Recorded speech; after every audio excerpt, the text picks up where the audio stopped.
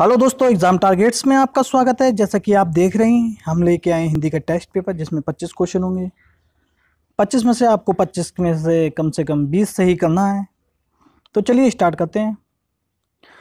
पहला है, दयालु। दयालु का विपरीतार्थक शब्द बताना है आपको। दयालु का विपरीतार्थक शब्द कौन सा होगा?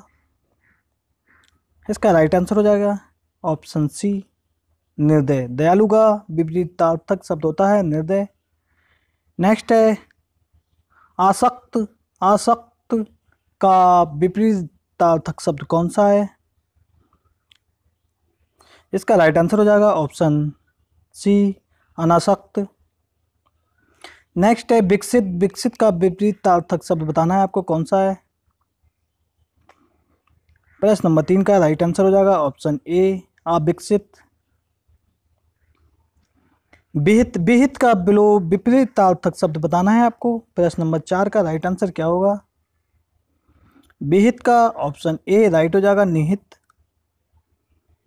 दीर्घ काय दीर्घ काय का विपरीतार्थक शब्द बताना है आपको। इसका राइट आंसर हो जाएगा किस काय किस काय जो है, विपरीत तार्थक शब्द है दीर्घ काय का। निष्काम निष्काम का विपरीतार्थक शब्द कौन सा होगा? इसका राइट आंसर हो जाएगा ऑप्शन ए सकाम। निष्काम का हो जाएगा सकाम। नेक्स्ट है, चंद्रशेखर में कौन सा समास है? चंद्रशेखर में कौन सा समास है? इसका राइट आंसर हो जाएगा ऑप्शन ए बहुवीरी समास। नेक्स्ट है पावक में संधि है। पावक में कौन सी संधि है? चार ऑप्शन आपके सामने हैं। राइट आंसर आपको बताना बताना है, प्रश्न नंबर एट का। इसका राइट आंसर हो जाएगा ऑप्शन बी अयादी संधि है।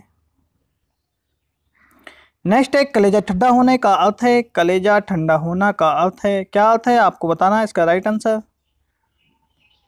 इसका राइट आंसर हो जाएगा ऑप्शन बी संतोष होना।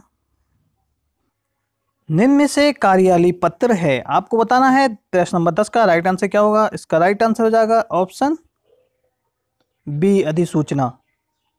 जो कार्यालय पत्र होते हैं, उन्हें अधिसूचना पत्र कहते हैं। नेक्स्ट है, निम्नलिखित में से सही शब्द कौन सा है? प्रश्न नंबर ग्यारह का राइट आंसर क्या होगा?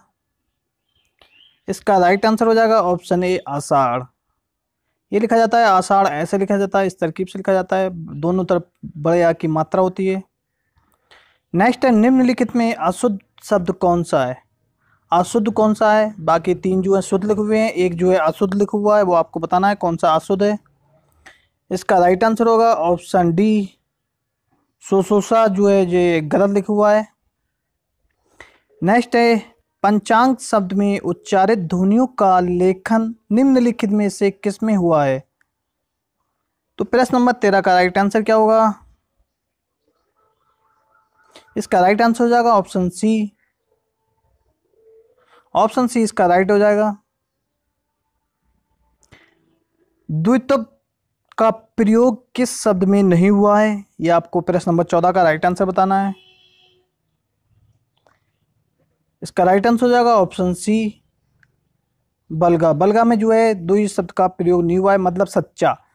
इसमें चा जो एक आधा आ रहा है, पूरा आ रहा है, इसमें आधा ता आ रहा है और पूरा ता आ रहा है, इसमें आधा गा आ रहा है, उसमें पूरा गा आ रहा है। इसका मतलब दुई शब्द दुई तब शुद्ध शब्द का चयन कीजिए। आपको बताना है इसमें सौ कौन सा शुद्ध लिखा हुआ है? प्रश्न नंबर पंद्रह का राइट आंसर क्या होगा? इसका राइट आंसर हो जाएगा ऑप्शन बी कलेश। कलेश जो है, ये शुद्ध लिखा हुआ है। निम्नलिखित में से कौन सी बात असत्य है? ध, अघोष महाप्राण दंत है। बा, अघोष, भा, सघोष ओष्ट महाप्राण है। च अघोष तालब्य अल्पराण है, खा कंठ महाप्राण अघोष है। प्रश्न नंबर सोलह का राइट आंसर हो जाएगा ऑप्शन बी ऑप्शन बी बा जो है ये कौन सा है? अघोष, सघोष ओष्ट महाप्राण नहीं है, पा, फा, बा बा जो है ओष्ट माता, ये ओष्ट है। अल्पराण महाप्राण, पा, फा आपका पाओया फावैया, बावैया, भावैया, मावैया। तो ये हो गया आपका अल्पराण महाप्राण अल्पराण महाप्राण और ये अल्पराण तो इसका मतलब ये जो है, बा जो है अल्पराण महाप्राण अल्पराण ये बा जो है अल्पराण है, महाप्राण ना होके। ठीक है? स्वर रहित रा का प्रयोग हुआ है। स्वर रहित रा का प्रयोग हुआ है। कहाँ हुआ है? प्रश्न नंबर सत्रह का राइट आंसर बताना है आपको। इसका राइट आंसर हो जाएगा ऑप्शन बी पुनर्निर्माण। रा का प्रयोग हुआ है इसमें, स्वर रहित। नेक्स्ट है, निम्नलिखित शब्दों में से शुद्ध रूप है। शुद्ध रूप कौन सा है, आपको बताना है। प्रश्न नंबर अठारह का राइट आंसर क्या होगा? इसका राइट आंसर हो जाएगा option B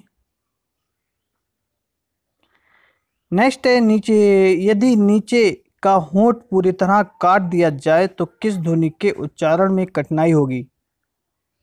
Very very important question friend आपको बताना है इसका राइट आंसर क्या होगा? इसका राइट आंसर हो जाएगा बा।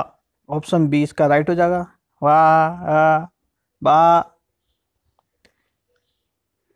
उच्छिप्त ध्वनि का प्रयोग हुआ है। आपको बताना है उच्छिप्त ध्वनि का प्रयोग किसमें हुआ है? प्रश्न नंबर बीस का राइट आंसर होगा। ऑप्शन सी पढ़ाई में। दूसरों के आगे बढ़ने की इच्छा के लिए एक शब्द क्या होगा? प्रश्न नंबर बीस, किसका राइट आंसर क्या होगा? इसका राइट आंसर होगा स्पर्धा। ऑप्शन ए, इसका राइट हो जाएगा। वह स्त्री जो संतान उत्पन्न ना कर सके, उसके लिए एक शब्द क्या होगा? प्रश्न नंबर बाईस का राइट आंसर क्या होगा? इसका राइट आंसर हो जाएगा ऑप्शन डी बंधिया हाथ में लेकर चलाए जाने वाला हथियार के लिए एक शब्द है। जो हाथ में लेकर चलाया जाता है, उसके लिए एक शब्द क्या होगा? प्रश्न नंबर तेईस का राइट आंसर क्या होगा? इसका राइट आंसर हो जाएगा ऑप्शन बी शस्त्र। शस्त्र जो है, ये हाथ में लेकर चलाया जाता है, अस्त्र जो है, ये फेंक के चलाया जाता है। नेक्स्ट है, दूसरों के स्थान पर कार्य करना के लिए एक शब्द क्या होगा? प्रश्न नंबर चौबीस का राइट आंसर क्या होगा? इसका राइट आंसर हो जाएगा ऑप्शन सी स्थानापन। प्रारंभ से लेकर अंत तक के लिए एक शब्द है, कौन सा है? आपको बताना है, इसका राइट आंसर क्या होगा?